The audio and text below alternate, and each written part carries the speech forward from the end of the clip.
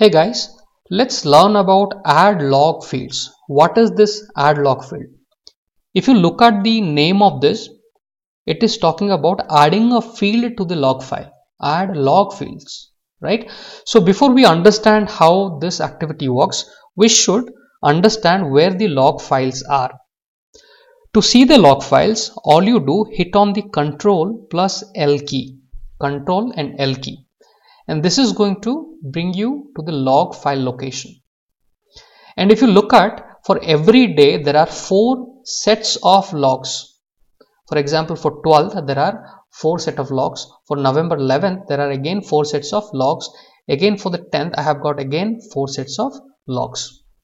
Now what we would be let's have a quick look okay? The studio has uh, information related to packages and the execution so right now, what is the project name or the process name? Expo Hub problem solving demo, right?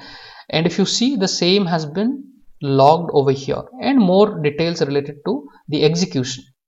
Okay, that would be found in the execution log. Similar way, if you go back and look the DB Server Studio, it has got collection of various error error related logs. Again, the analyzer has got a couple of error related logs okay. Similar way what we'll be interested today about the execution log related to our execution. What you have executed at what time have you executed what was the problem with that what has been so all these related details will be available into it. So first of all to work on the add log field what we will do i am going to remove this entire thing. Okay i have completely removed the execution log. Now let me save it and close it. Okay so the execution log is completely blank now.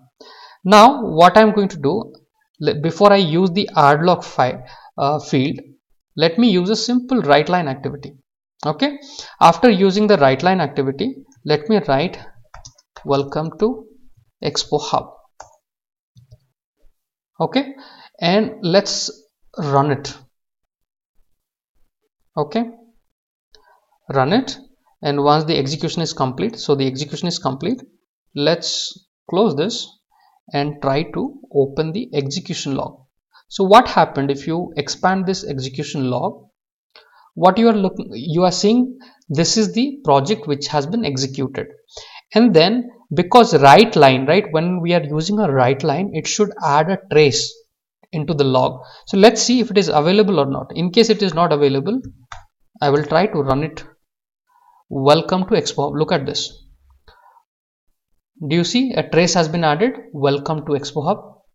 Understood. In case while you run it for the first time you have deleted and, and you did not find try to run it once again and try to check this trace. You will see whatever message you have typed that has been added into it. Okay fine. But what if i would like to add certain more fields as per my need? This is just doing as per uh, the default needs of the log requirement wherein it is having the machine name it has the robot name and all those relevant informations. By default what it's supposed to log. But there will be times wherein you wanted to add your own fields okay?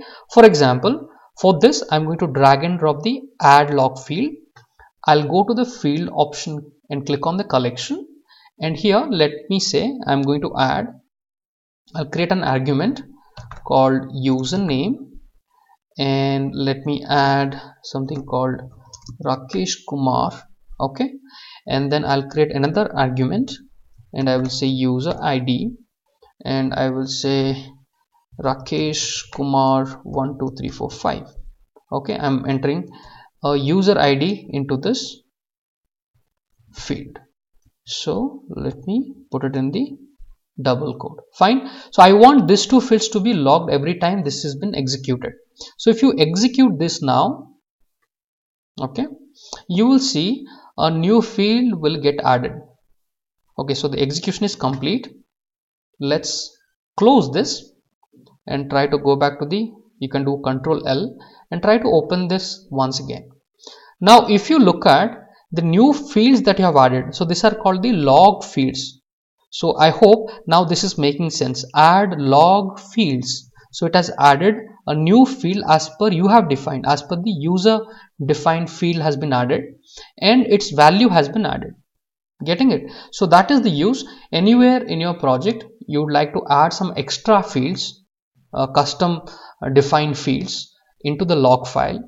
That's where you can go with the add log field. I hope this video would help you to understand what is the use or to what range you can use this or when you can use this.